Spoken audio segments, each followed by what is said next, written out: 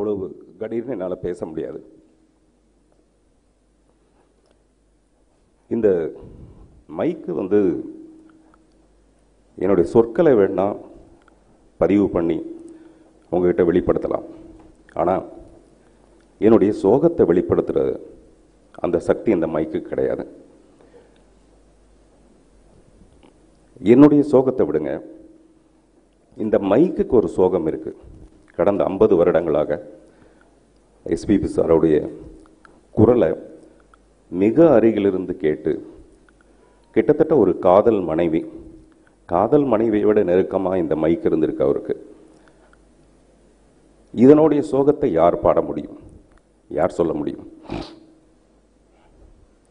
தெரியல அவர் வந்து ரொம்ப மனதுக்கு நெருக்கமான ஒரு மனிதர்.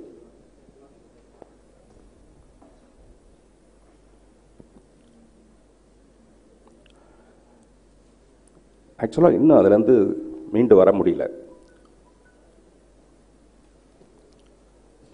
மற்றவங்க என்ன பண்ணுறாங்கன்னு அப்படியே கவனிச்சுட்டே இருக்கேன். ராஜா சார் போய் திருவண்ணாமலையில் மோட்ச தீபம் ஏற்றுறாரு நான் அப்படியே காளிகாம்பாள் கோயிலுக்கு போகிறேன் அங்கே போய் ஒரு தீபம் ஏற்றிட்டு வரேன்.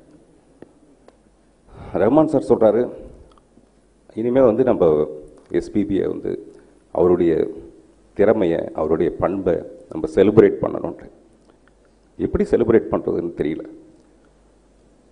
சரணுக்கும் எனக்கும் பெயர்கள் வேணால் வேறு வேறையாக இருக்கலாம். பட் எஸ்பிபி சார் மேலே வச்ச உ- அன்பு வந்து உன்னதமானது. நன்றி. தினமும் காலையில் உள்ளூர் முதல் உலக செய்திகள் வரை தெரிந்து கொள்ள வாங்கி படியுங்கள். மக்கள் ராஜ்யம் தினமும் உங்களோடு உடனடி செய்திகளுக்கு www.மக்கள்ராஜ்யம்.com டாட் மக்கள் ராஜ்யம் டாட் காம்